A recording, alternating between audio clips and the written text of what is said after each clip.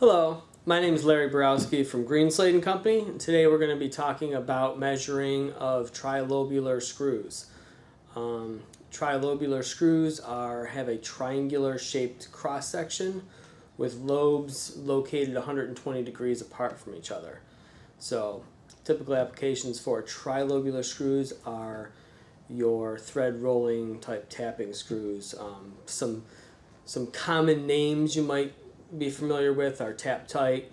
Um, they're a big trilobular or triroundular screw. So this is our tri-round gauge that helps measure those dimensions that are called out on those type of screws. Namely the C dimension being the over lobes, best circumscribed circle around the top of the lobes, and your E or and or D dimension, which is your lowest um, thread thread diameter, basically.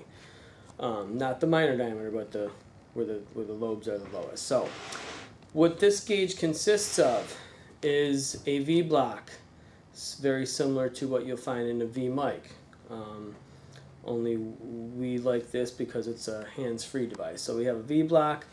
We have a indicator that performs uh, algebraic functions based on its position in the V. And then you have your basic holder um, base and your master setting pin.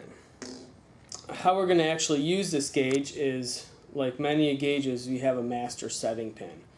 Um, this is a 200 thousandths class X master setting pin. So what we do is we lift up our our indicator point, we set our master pin into the slot, we come into here and we preset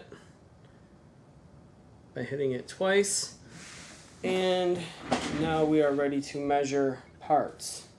So we take our trilobular screw, we set it into the V and we rotate for there's your low there's your low spot right there and then we rotate again up to your high spot which is right around there and that's your that is your C dimension so as you can see it's a lot easier than having um, to hold the screw and hold a, a gauge in the other hand while trying to turn it and find that high spot uh, it's much easier to just have everyone sit, everything sitting there on point and you just manipulate your screw to find the high. So this is our tri-round gauge.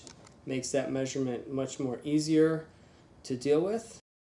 Thank you for watching. Make sure to subscribe or tune in frequently to our YouTube channel to see new and improved videos. You can give us a call at any time, 817-870-8888, or visit our website for additional information. And remember, if you ever have any questions, you can always ask Mr. Measurement.